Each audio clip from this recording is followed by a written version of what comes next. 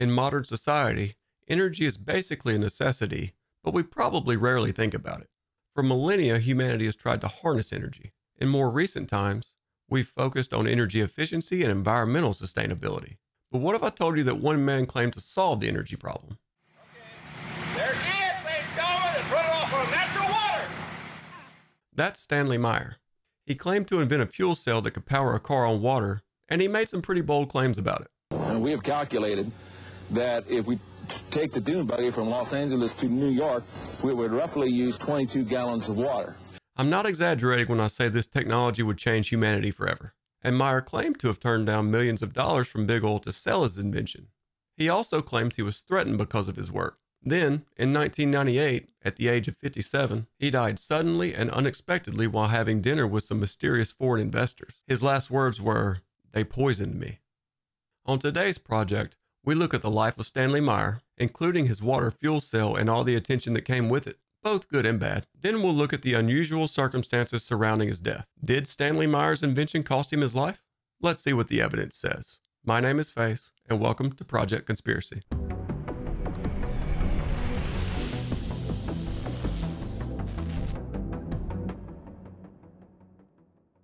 Stanley Meyer and his twin brother Stephen were born in 1940 and were very close.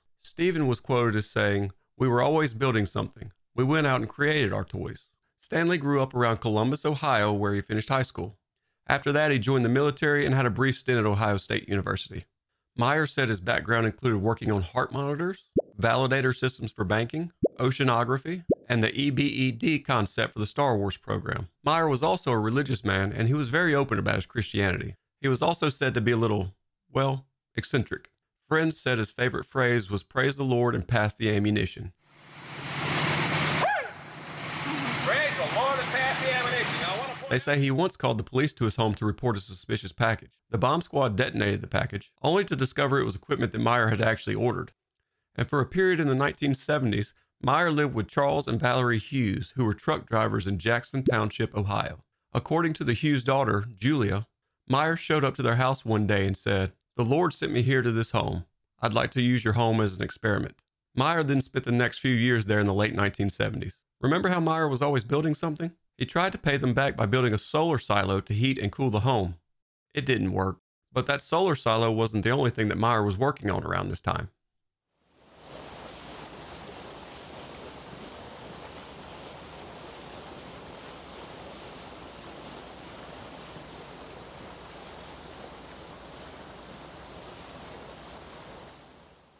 In 1973, Saudi Arabia implemented an oil embargo against the United States. This caused the oil prices in the United States to skyrocket, and it also showed how dependent and vulnerable the United States was to foreign oil. As a result, Meyer started looking at water as a fuel source. Meyer wanted to use the energy in water as a power source to help reduce the United States' dependence on foreign oil, and Charles Hughes said that Meyer had some early success with it. He would see Meyer power his tractor for 15 minutes on well water, and he put his nose up to the exhaust. There was no fumes whatsoever. It was just clean, hot air. Meyer's end goal was to use water to power vehicles. To do this, he invented a water fuel cell to power the vehicle, and he continued working on its development through the 1980s and 90s. So, how did this thing work? First off, let me be clear. Let me be clear. This episode is not meant to be a technical investigation of the engineering mechanics of the water fuel cell or car. But in layman's terms, the water fuel cell allegedly split water into its component parts, hydrogen and oxygen. The hydrogen gas was then burned to produce energy, a process that reconstituted the water molecules. One source said that water electrolysis, which I understand was part of Meyer's process, requires the passage of electrical current measured in amps. However, Meyer's fuel cell allegedly achieved the same effect in milliamps. In other words, he claimed to be able to break the oxygen hydrogen bond using much less energy than anticipated. Based on Meyer's claims, he basically made a perpetual motion machine, and physics says that perpetual motion machines are not possible. At least known physics. But they say Meyer's design broke two laws of thermodynamics. We'll discuss that more in a minute, but it's a big no no in the science world. That didn't stop Meyer from working, though. He even prepared a technical brief called The Birth of New Technology that goes into detail about his design. This thing's over 200 pages and includes numerous demonstrative figures. If you'd like to geek out on math and science, go check this thing out and let me know if it makes any sense. I don't speak mathematics. And Meyer was also granted patents for his design. Speaking of patents, there are a lot of claims online about Stanley Meyer's patents. Some sources claim that he owned a plethora of patents ranging from banking, oceanography, and cardiac monitoring, and that he had more than 200,000 patents to his name. No, I didn't misspeak. 200,000 patents. Can you imagine? Well, unsurprisingly, I couldn't come close to verifying this claim. In his technical brief we just discussed, Meyer himself claimed to have 26 patents. I found 28 of his patents on Google's online patent search. Most, if not all of them, look to be related to the water fuel cell and associated systems. I've also seen claims that Meyer had to actually go to the patent office and prove that his water fuel cell design worked. My understanding is that an invention submitted to the patent office has to be operable, but the patent office generally presumes that an invention works as claimed and won't make you prove anything. That said, if it appears to the patent office that an invention isn't operable or it violates the laws of physics on paper, then they might make you prove that the invention works. In fact, on their website, the patent office specifically notes that an application rejection can include the more specific grounds of inoperativeness, such as inventions involving perpetual motion. Since Meyer's claim design was said to violate known physics, that might be why he had to go do some explaining. Meyer also claimed to have constructed a functional model of the water fuel cell that he designed to work with a 1.6 liter Volkswagen combustion engine he installed in his iconic red dune buggy. In order to convert the conventional engine to work with a water fuel cell, he had to create numerous new parts and technology, thus the 25 plus patents he ultimately filed. So, how did this thing work? They say he replaced the spark plugs with injectors that sprayed water as a mist in a resonant cavity where it was subjected to high voltage electrical pulses. This converted the water into a mixture of hydrogen and oxygen that was combusted in the cylinders and drove the pistons. And since the hydrogen was used as energy, the only possible emissions were oxygen or water residue. So what you're really seeing with the water fuel cell as it is today is that we have a full system engineering approach allowing us now to use water as a main fuel source to be able to run a conventional engine and run it on water and do it and equal or supersede the performance of a, a, car running on gasoline and diesel fuel. Many people uh, do not realize that when you run a car or truck on uh, either gasoline or diesel fuel, you're actually running it on hydrogen. And all we're doing is using the hydrogen from water. And under the National Bureau of Standards figures shows that when you use water, the energy release is roughly two and a half times more powerful than that of gasoline. So water is a very powerful fuel. And all you needed to do was solve the answers of number one, producing the hydrogen economically, controlling it on demand, being able to adjust the burn rate of hydrogen and gas to co-equal the fossil fuels, and the third one was to be able to transport it without spark ignition. And we've solved all of these problems on the design engineering, and of course the water fuel injector, as I've shown you, now gives us the abilities to uh, transport the water directly to the fuel injector, which is now going into the voltage zones, which now is performing the, the electrical polarization process that goes and triggers the hydrogen fracturing technology, but it's doing it inside the engine. So we all know that natural water um, is very stable, and therefore it becomes a very fail-safe operable system, as we pointed out earlier. And people took notice of Meyer's work. One source claimed that Meyer and his patented water fuel cell technology and systems had been under a national security review since the beginning of the crisis in the Middle East. The Pentagon flew a lieutenant colonel in last week to look at Meyer's invention. There is talk of possibly using it in the Star Wars defense program and to run army tanks. He had numerous speaking engagements in the 1980s and 90s, and he received several Who's Who awards or acknowledgments. He also claimed he received offers to buy his work. Big offers. Remember Charles and Valerie Hughes, who Myers lived with in the 1970s? According to the Columbus Dispatch, their son, Charlie Hughes, who's grown now, told a story about some strange men that came to his home in the late 1970s. Charlie was playing outside when the driveway suddenly filled with limousines. Men in turbans stepped out and asked for Meyer in what Charlie described as stern, thick accents. Charlie said, I remember because I was not allowed in my own house that day. The men left and Charlie was about to go inside, but then military vehicles filled his driveway with army brass there to find out what the foreigners wanted. At dinner that night, Meyer told the family, "The Arabs wanted to offer me 250 million to stop today. You and this lovely family can live in peace and prosperity the rest of your days." According to his twin brother Stephen, Stanley got another offer in the 1980s. Stephen said, He turned to me and said, They just offered me $800 million. Should I take it? I said, Hell yes. How much money do you want? He got very quiet. When he got into that thinking process, I just let him alone. Meyer's work was also featured in a 1995 documentary called It Runs on Water that aired on BBC. But we also need to talk about the controversy surrounding Meyer's work. As I mentioned, the main issue was that his design violated two laws of thermodynamics. Specifically, Meyer's claims broke the first law of thermodynamics, which states when energy passes in or out of a system, the system's internal energy changes in accordance with the law of conservation of energy. In other words, energy can neither be created nor destroyed only converted from one form of energy to another. Meyer's work was also said to break the second law of thermodynamics, which states that the sum of the entropy or unavailability of energy to be used for mechanical work of the interactive thermodynamic systems never decreases. In other words, no process is 100% efficient. Some energy is always lost as heat. These two laws basically prohibit perpetual motion machines. And it's not me claiming Meyer's work violated these laws, it's respected scientists. And they say these principles rebut Meyer's claims. Wai Cheng, a professor of mechanical engineering and director of the Sloan Automotive Lab at MIT, stated it simply and succinctly. A water molecule is very stable. The energy needed to separate the atoms is greater than what you get back. This process actually soaks up energy instead of giving it out. And Stanley Meyer agreed with at least part of that. So we all know that natural water um, is very stable. But Meyer insisted that his fuel cell could overcome this using a resonant effect. The secret, he said, was to resonate electricity at a very high voltage through water to fracture the hydrogen oxygen molecular bond. The scientists don't buy it. Also, the designs he produced for his patent applications were criticized because they looked awfully similar to a normal electrolysis machine. Electrolysis has been around since the 1700s. It's cool, but not groundbreaking. And it still wasn't clear how Meyer's work bridged the gap from electrolysis to hydrogen fuel conversion. But like most things in modern society, Meyer's invention eventually made it to the courtroom.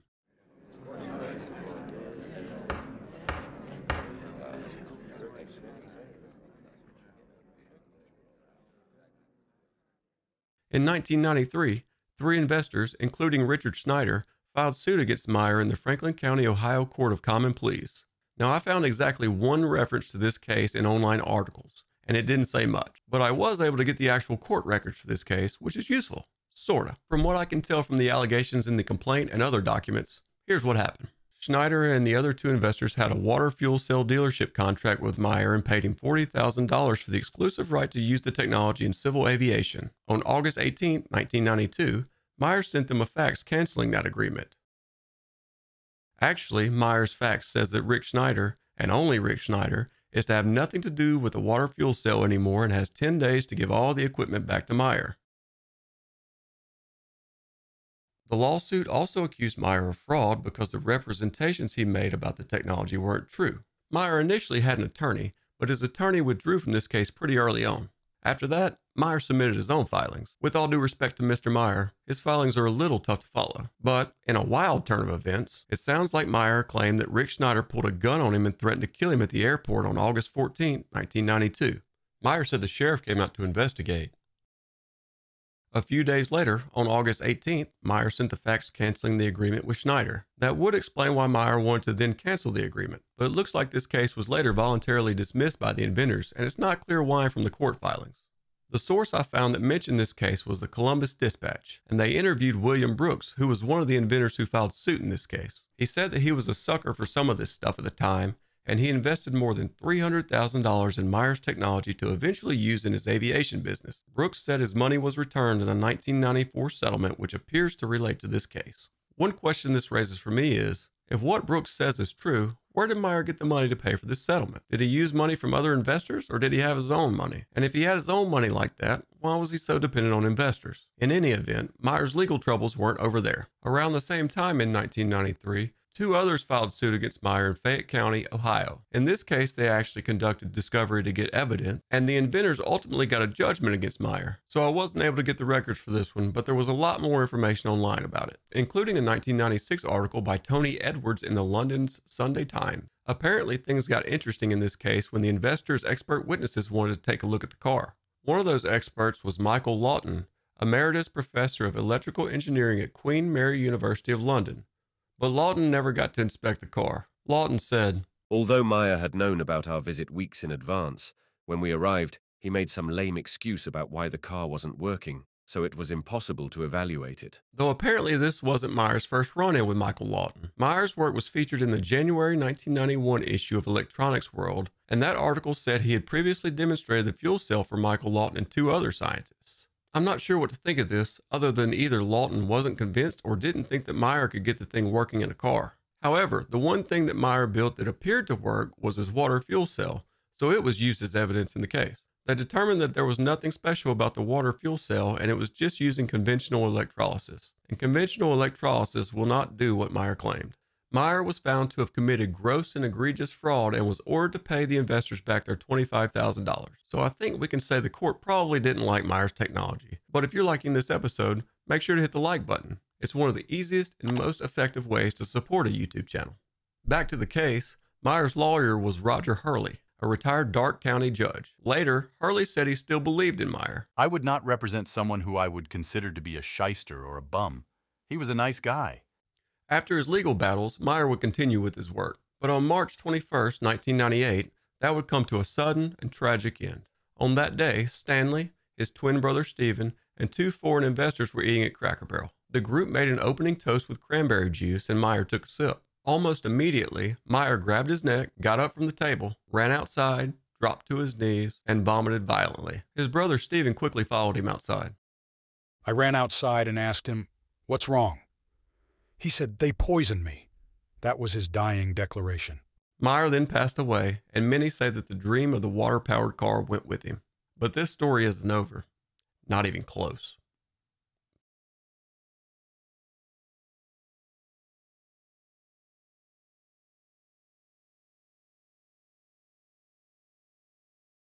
So, this is where conspiracy theorists go to work. They say Meyer's death wasn't an accident, and they have a list of suspects car manufacturers, big oil, the government, or maybe even an angry investor. They say they poisoned Meyer, just like he said. And skeptics can laugh at these theories all they want. But assassinations have occurred throughout human history, and all of the alleged suspects may have motive for Meyer to be unalive. Meyer's story as told online seems to mix fact and fable. But when it came to his passing, I wanted to make sure that I had reliable information. So I actually got a copy of his autopsy, coroner's report, and toxicology report. And let me say, I'm not a medical doctor and I'm not making any medical claims here. I'm just a curious guy with internet access and a YouTube channel. But the autopsy and coroner report determined that Meyer suffered a rupture of cerebral aneurysm with subarachnoid hemorrhage and the unfortunate effects that follow that. Meyer did have a history of high blood pressure, which increases the likelihood of an aneurysm. I found one source that said Meyer recently got a clean bill of health from his doctor, especially in regards to his blood pressure and heart. But in full disclosure, I didn't find the source's veracity to be particularly compelling. And even if that were true, it wouldn't necessarily preclude Meyer from having an aneurysm. What about when Meyer ran outside and started vomiting? Well, it turns out that nausea and vomiting are symptoms of a ruptured aneurysm. But is it possible that he still could have been poisoned?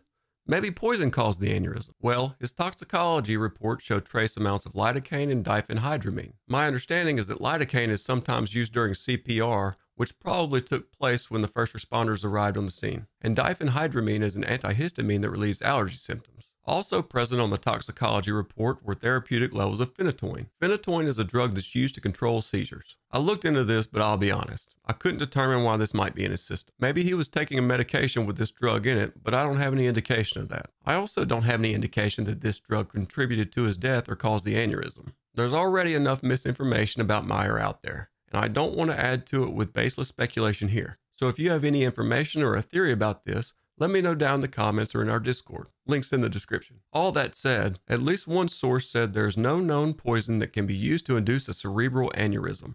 But some conspiracy theorists note that such a poison could exist outside the knowledge of the general public, and there are poisons that can't be detected by toxicology tests. That's probably true, but I can't prove that it happened in this specific case. But what about the foreign men that Meyer was having lunch with? Who were they? And did they have any reason to want to hurt the inventor? The coroner's report says that Meyer was having lunch with NATO officials at Cracker Barrel. I have no idea where the NATO reference comes from, and I couldn't find any other evidence of NATO personnel being on the scene when Meyer passed away. I suspect this is a coroner documentation error, but it looks like the two foreign men eating lunch with Stanley Meyer and his brother were two Belgian men, who I'm going to refer to as Philippe and Mark. Some people suspected that it was the two Belgians who carried out a hit on Meyer. So, what were the Belgians doing there in the first place? According to the Columbus Dispatch, the men had agreed to purchase 56 acres along Seeds Road in Grove City, Ohio. The city had approved a research campus there two months before Meyer's death. The dispatch tried to contact the Belgians but was unsuccessful. However, one individual online claimed that he emailed Philippe and got a response in July 2020. And let me be clear I have no way of verifying that this email actually happened or that it was actually Philippe on the other end. But it's part of the Stanley Meyer lore at this point, and it looks like at least some of the claims in the email can be verified. According to this source, Philippe said the following I met Stan at the beginning of 1995 and found his project interesting for its possible contribution to mankind. We became friends and I supported him financially until his death. I had bought the land in Grove City for him. He wanted to have a place to build a research center. The intention was to officially inaugurate this on Saturday, the 21st of March, 1998. Because of this, I organized a weekend visit as often arrival Friday 20 and departure Sunday 22. I had taken Mark with me, at Stan's request, to improve our communication via computers. Mark had nothing to do with the project. Rabbit hole warning. So, is there any truth to Philippe's story?